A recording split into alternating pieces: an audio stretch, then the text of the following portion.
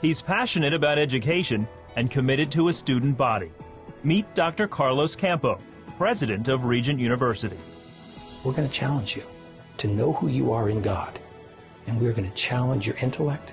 We're going to challenge your emotion. You're going to graduate Regent with a skill set that goes far beyond the market. Dr. Campo's desire to pursue excellence is birthed out of his own family heritage. As a first generation Cuban American, he credits much of his success to his parents' fortitude. They made a way for all of us kids. I mean, when I think about the fact that my father came to this country, had $20 in his pocket, was in New York City, and had a dream and made it come true. My mother, you know, basically at the age of 13 was orphaned, and she and her sister had the fortitude, you know, to walk to a local radio station and audition for a show and and made it. You know, uh, they literally made a way for themselves and for us. You know, those are the sorts of stories that folks from my generation tell often about their parents. His mother, Betty Clooney, was a singer.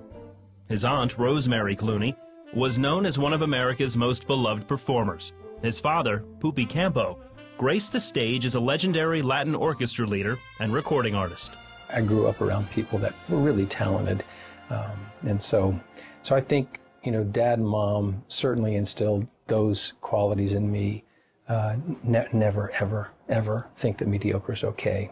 Campo's father's determination encouraged him to pursue his dreams. Here's an immigrant who didn't speak a word of English, came to this country with nothing except a dream to be an entertainer and be a successful one, and he was able to achieve that. So, and, and he also worked very hard. So the idea of hard work was something that Dad established in me and his mother instilled in him a love for literature and the Lord.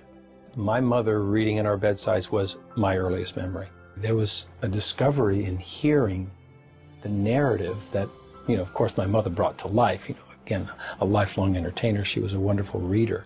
And just having that wash over my ears and into my mind developed in me this love for, for learning. Tragically, his mother died of a brain aneurysm when Carlos was just 17. When we lost our mom, it, it did this to us. We just made a commitment to one another as a family. Not unusual in a Latino family anyhow, but we just said, you know, we know that God's called us to ministry. And we know he's called us to one another. And Campos says he knew he was called to the classroom. He taught at the University of Nevada, Las Vegas, and received numerous awards as an outstanding educator. When I was in the classroom, I mean, again, I, just blessed with phenomenal students, and they pushed me to, to greater heights as an instructor. Dr. Campo credits his wife of 30 years, Karen, with the unconditional support that led to his successes in academia. When you think about God's blessing and graciousness, uh, Karen is just absolutely that. She's, she's my rock and has just been at my side all of these years. Dr. Campo shares the vision of founder Pat Robertson to extend the university's global reach while staying true to Regent's Christian heritage. We are a school that strongly, strongly emphasizes our roots, and our roots absolutely are Christian.